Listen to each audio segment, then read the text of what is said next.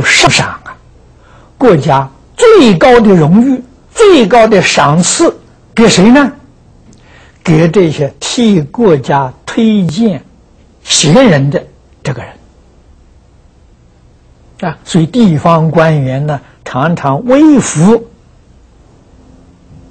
去私访啊，啊，穿的普通衣服不会让人认识，哎，他到外面去打听。啊去找这个人才，人才的标准也是有一定的，就孝廉这两个条件。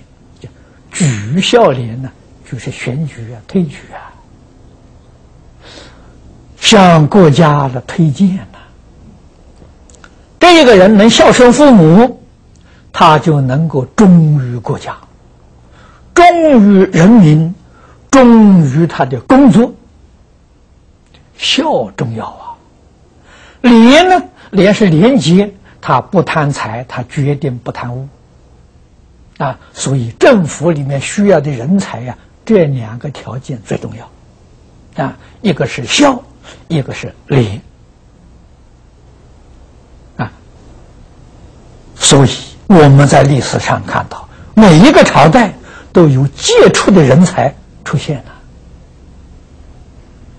绝对不会比民主制度差了啊！但是现在我们想恢复古时候那种教学制度很难，这个不是我们能做得到的啊！我们明了，但是没有能力做到啊！啊，你这个问题问得很好！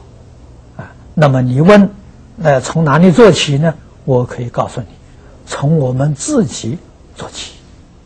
啊，我们自己每一天能够反省，能够断恶，能够修善，能够积功累德。社会大众不守秩序，我守秩序。啊，大众乱，我安定。啊，从本身做起。能不能影有影响呢？不必考虑这些，啊，只问耕耘呢，莫问收获就好。啊，那么这是我一点浅显的贡献贡献呢，一切都要从自己做起，然后影响你的家庭，啊，你一家给社会大众做榜样。啊，逐渐逐渐的扩大影响，也许会有一点效果。啊，呃，譬如学佛，啊，学佛的人一定持戒嘛，持戒就是守法嘛。